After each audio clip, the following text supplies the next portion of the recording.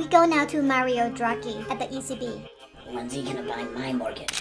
Thank you. Six months ago, I told you that within our mandate, the ECB is ready to do whatever it takes to preserve the euro. Today, I'm pleased to announce that the eurozone has found a buyer for all of the long-term debt of member nations. All they want is 2% interest and some of our most indebted citizens in return. The Greeks will remain in the eurozone, but not in our solar system. So now, please give your warmest welcome to Space Alien. They come here all the way from the planet Nibiru. They love the Greeks. Don't you love the Greeks? Yes, grilled or crispy.